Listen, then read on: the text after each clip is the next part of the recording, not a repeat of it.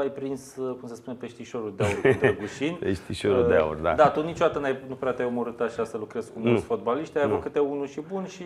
Da, m-am mișcat bine, la Londra atmosferă frumoasă, avem discuții, este în atenția multor cluburi.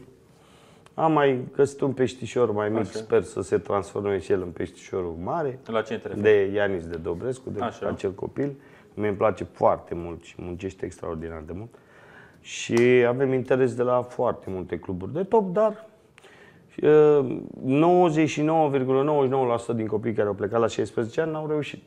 S-au întors înapoi. Singurul care a reușit pot zic că e Radu. Drăgușin, care în continuare joacă acolo și nu s-a întors în țară. Sper ca Iani să fie al doilea care reușește.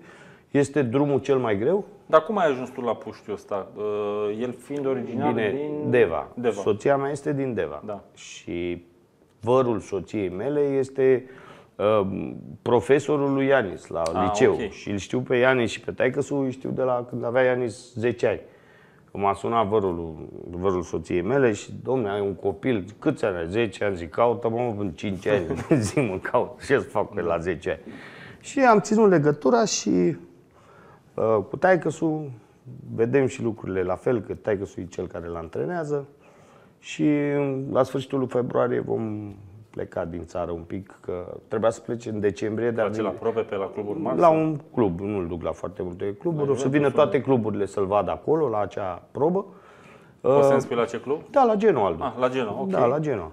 Uh, trebuia să mergem în uh, decembrie, dar uh, e o lege FIFA că nu mai ai voie să-i duci la probă până să facă 15 ani. Ok. Și atunci s-a anulat. Ianis împlinește 15 ani pe 19 ianuarie în februarie suntem ok să mergem. Și probabil la anul următor, în ianuarie, se va transfera la un club de Domnul afară. Dinu, cum, uh, cum vi se pare uh, chestiunea asta cu jucători foarte tineri români care pleacă pe afară? Un exemplu ar fi și, mă gândesc la Marco Dulca, a stat foarte mult în Anglia și după aia s-a întors în țară, sau Vlad Dragomir. Niciunul n-a reușit. Uite, și Opruț, care e un jucător bun, mie îmi place. Ce părere aveți? Deci, dar mai vin cu adică plus, vin cu plus. Este, cum să spun, nu loterie, poate forța de loterie spus, dar și depinde și de jucător, depinde de modul cum se poate acomoda, depinde și la ce echipă este, unde merge, ce interes sau cei de acolo pentru creșterea jucătorului. Sunt multe condiții care trebuie îndeplinite. Are dreptate, Florin. Sunt și acum în tot vin nume de jucători, nu știu, de exemplu, Cătălin Sără era Cătălin capitan Sără. la uh, Primavera Lazio, adică în mod normal uh, ar fi trebuit să facă pasul să, da, să rupă Sunt multe condiții care trebuie Dar de ce oare, multe, domnul Dinu? Cine știe de ce? Că Le spun eu de ce. De ce? Din cauza mentalității noastre. Așa. Um, că vorbeam înainte de misiune. Uh, Rare și eu, un jucător care mie îmi place foarte mult. Am citit în ziar mare știre asemnat cu Federico Pastorello. Bun, nu zic, e un impresar foarte bun în Italia.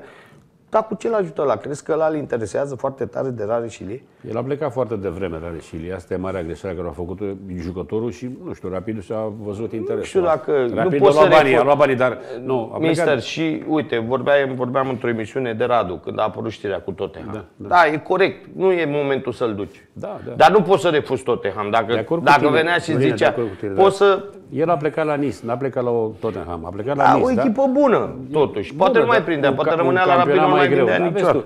Dintre toți jucătorii tineri care au plecat în România în ultimii 5 ani, 10, 6 ani, bine plecase Răzvan, Răzvan Marin. Răzvan, și care, e bine în continuare, domnule. A avut Ajax-ul, acolo, acolo nu a confirmat, din păcate pentru el. El a plecat bine, a plecat da. în Belgia, Ajax, Corect. acolo n-a reușit, sigur, venea, venea și într-o postură, trebuia să locuiască pe De Jong, care Asta plecase la Barcelona. Și stați și... un pic, a venit la un Ajax extrem de puternic, aduceți-vă aminte, la un Ajax păi care nu, performa era, era, Nu, dar era o șansă pentru el să joace o echipă foarte puternică. Nivelul eu cred că da, a fost foarte